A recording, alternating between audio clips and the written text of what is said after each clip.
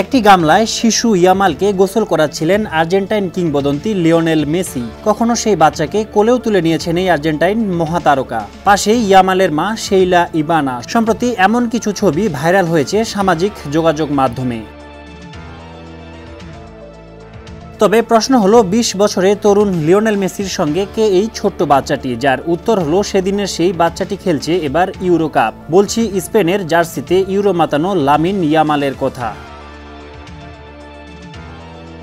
একজন বার্সেলোনার সাবেক তারকা কিংবদন্তি, আরেকজন সবেমাত্র শুরু করেছে বার্সা অধ্যায়। তবে বয়সের বিচারে লিওনেল ইয়ামালের ফারাক যোজন যোজন হলেও দুজনই এখন দুটি ছড়াচ্ছেন ফুটবল মাঠে।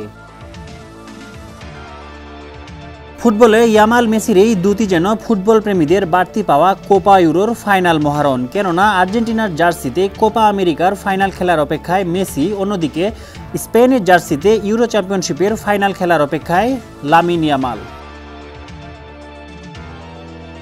জার্মানির বার্লিনে অলিম্পিক স্টেডিয়ামে বাংলাদেশ সময় রাত একটায় ইউরো শ্রেষ্ঠত্বের লড়াইয়ে মাঠে নামছেন ইংল্যান্ড, স্পেন। এদিকে ইউরোর শেষ বাসি বাজার ঘণ্টা দুয়েক পরই সকাল ছটায় কোপার শ্রেষ্ঠত্বের লড়াইয়ে মাঠে নামছেন আর্জেন্টিনা, কলম্বিয়া। তাই তো বলা যায়, কোপা ইউরোর ফাইনালে শিরোপার লড়াই ছাড়াও মেসি আমালে মুগ্ধ হবেন ফুটবল প্রেমীরা।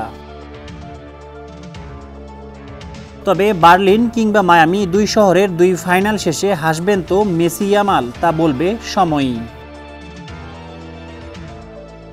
বিনায়ক রহমান, সমকাল।